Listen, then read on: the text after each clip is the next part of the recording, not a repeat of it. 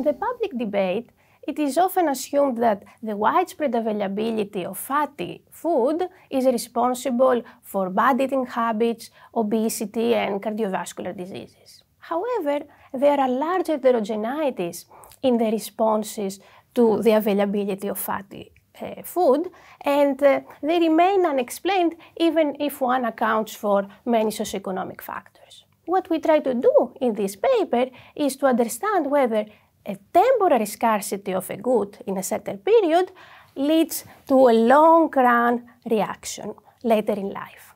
More specifically, uh, we focus on Italy and uh, we study individuals uh, that passed their childhood uh, during World War II and they experienced meat scarcity. And we want to see whether these individuals, when they grow up, uh, have a higher probability of eating meat every day. We also want to understand uh, whether this long run reaction differs by gender and whether these effects afterwards persist to the next generation.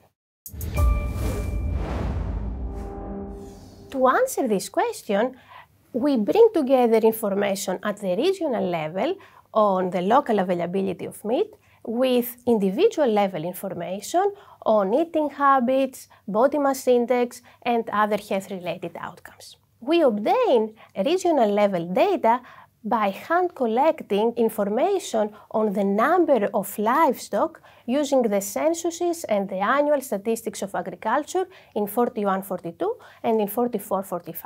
We then merge this data with uh, survey data that allow us to observe at the individual level the eating habits and other health-related outcomes. We proxy the availability of meat at the regional level uh, using the decrease in the number of livestock that uh, we observe. This is a good proxy of the local availability of meat for two reasons. First of all, during World War II in Italy, there was rationing. So there was a ration card with which people could acquire basic goods, including meat, in established quantities. And these quantities were depending on the availability of the food. This is why many people had to rely on the black market to get more food. But of course, if there was not enough livestock, then also the price in the black market will be very high and people won't be able to get meat neither through rationing nor through the black market. So what we do uh, in order uh, to understand whether the scarcity of meat leads to overconsumption of meat later on is to exploit cohort and regional level variation in a difference in difference framework. First, we define the treated cohort as those individuals who passed their childhood during World War II, and we compare them to the control cohort, who are the individuals who passed their childhood after World War II. But of course, there are different individuals living in different regions that were exposed to higher or lower uh, meat scarcity. This method allows us to estimate the causal effect of meat scarcity during childhood on individual eating habits later in life. Our key finding is that the temporary scarcity of meat early in life increases the probability of eating meat every day later on.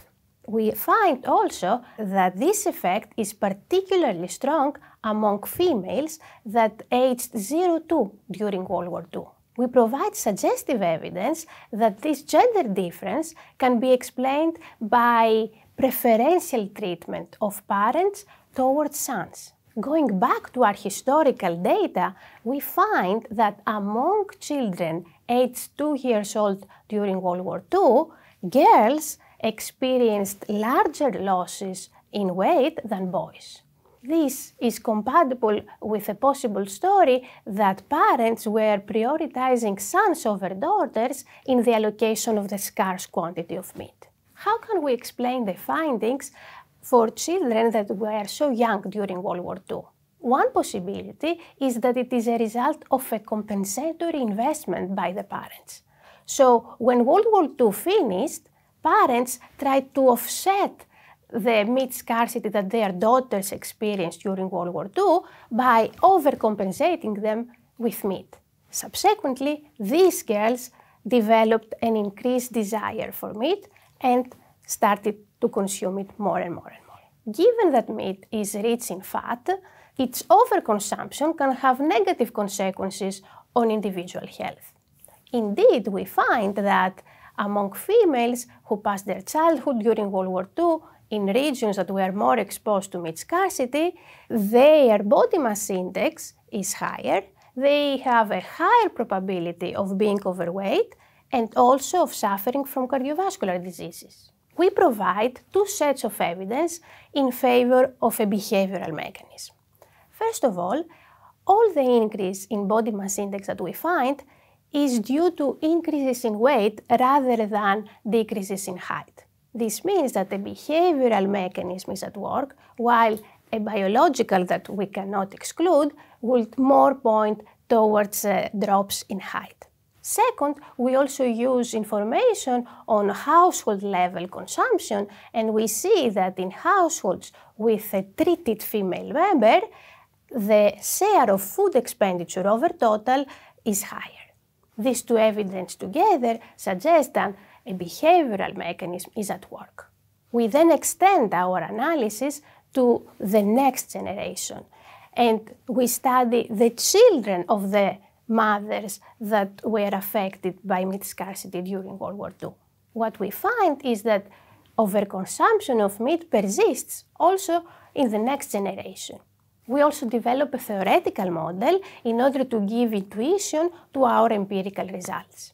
The model shows that the first generation that experienced meat scarcity acquires a habit and an increased desire for meat, while the second generation that actually experienced meat abundance acquires a taste for meat that reinforces its consumption. our research makes an important contribution to the literature, but also has policy implications. First, while most of the literature that studies the effects of early life experiences focuses on biological mechanisms, we uncover a behavioral mechanism. These mechanisms operates through overconsumption and through overcompensation of parents and we saw that it can have adverse consequences on health later in life. In some cases, like in the one that uh, we explained in this paper, the behavioral channel may dominate the biological one. This suggests that future research should take into consideration both channels. Our findings suggest that when policymakers want to make interventions or to implement taxes, they need to take into account these behavioral mechanisms and the long-run effects. A temporary tax that is designed to actually decrease the consumption of a good may backfire in the future and have the inverse effects uh, if it is not permanent. There are two possible avenues for future research.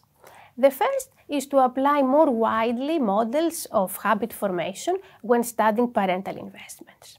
The second is to try to directly measure compensatory investments by parents in order to better understand how people react to adverse shocks. All in all, a temporary shock in early life can have persistent effects on preferences and attitudes of multiple generations. This transmission of attitudes may actually be a channel through which economic variables like consumption or savings significantly correlate among generations.